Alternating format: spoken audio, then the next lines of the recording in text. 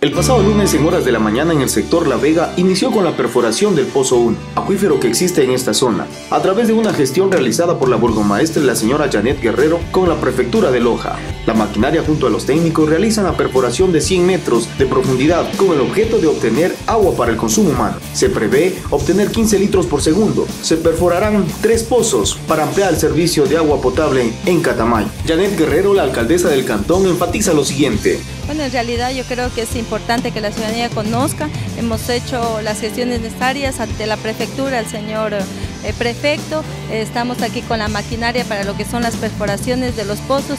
Eh, de acuerdo a los estudios se ha determinado que en este sitio pues eh, hay la posibilidad de obtener agua. Estamos haciendo todas las pruebas con la maquinaria del Consejo Provincial en un convenio que hemos firmado con la prefectura y pues hasta la próxima semana ya tendríamos los datos que aproximadamente de 12 a 15 litros por segundo sería lo que se podría obtener. Esto nos va a permitir ampliar la cobertura al Cantón Catamayo de lo que es agua y sobre todo optimizar lo que es el consumo de energía eléctrica, ya que estos bombas serían de menos capacidad y por ende menos gasto en lo que sería la energía eléctrica y nos permitiría ahorrar una muy buena cantidad de recursos para que se pueda obtener el líquido vital. Pero lógicamente esto, a pesar de la inversión que se tenga que hacer, esto nos va a permitir pues de costos totalmente reducidos para poder entregar agua potable al Cantón Catamay. Invitarlos a ahorrar, a economizar lo que es el agua potable. El tecnólogo Luis Matailo, técnico de perforación de la Prefectura de Loja, menciona lo siguiente.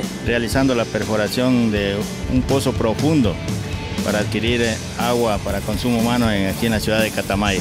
Está establecido en el convenio que los pozos son de 100 metros a 120 metros de profundidad más o menos, de acuerdo, dependiendo del caudal de agua que encontremos. El ingeniero Juan Guamán, director de agua potable y alcantarillado del gas municipal, se ratifica en cuanto a este importante trabajo.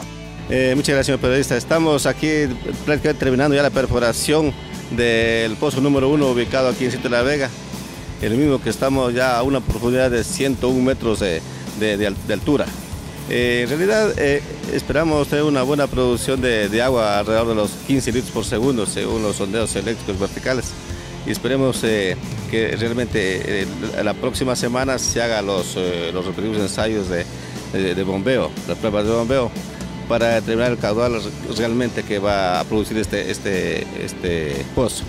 Eh, lo más conveniente es llevarla a la cruz. En la cruz tenemos eh, la infraestructura, tenemos ahí, por ejemplo, dos tanques de reserva, uno de 800 y uno de 1000 metros cúbicos. Es decir, tenemos 1800 metros cúbicos que, que podrían servir para igualmente poder almacenar y distribuir a la ciudadanía. Luego, lógicamente, el tratamiento que hay que darle en cuanto a, la calidad y características que tiene cada, cada uno de los pozos para poder tratar el agua sea apta para el consumo humano. Esta administración busca ampliar el servicio de agua potable para dotar de líquido vital a los diversos sectores del cantón. Por un municipio humanista y progresista, Administración 2014-2019.